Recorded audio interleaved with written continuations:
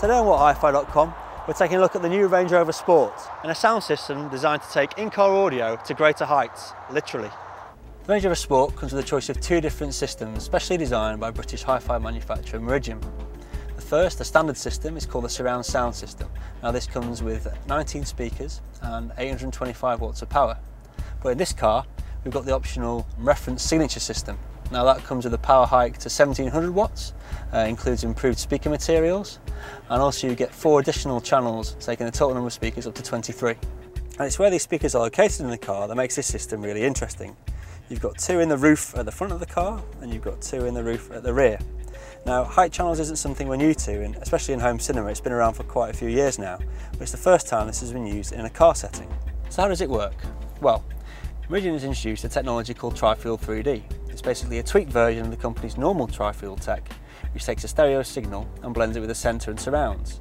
Obviously in this case, you need to take into account the addition of the new height channels.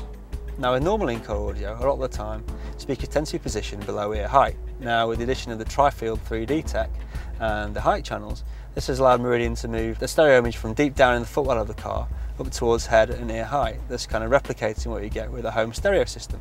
So besides the Meridian Trifield 3D processing, you also get a choice of using the Dolby and DTS equivalents.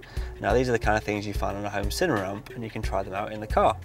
Now we've had an experiment between all three and I think it's fair to say we definitely choose the Meridian option because that sounds more uh, entertaining uh, and just gives you a bit more of an enveloping sound. So in terms of general infotainment features in the car, the main things are the touch sensitive display, complete with touch sensitive controls. There's a CD slash DVD player. There's also Bluetooth connectivity for streaming music. There's also a USB socket for plugging in and charging, say an iPhone.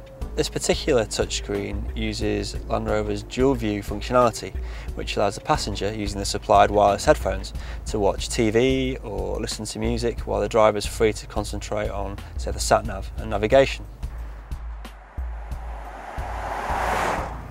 So now you're probably wondering how does the system sound and whether maybe the height speakers are a bit of a gimmick. Now, in our opinion, I don't think they are and it does bring something slightly different to the in-car experience. You feel slightly closer to the music, you feel slightly more involved and a bit more entertained.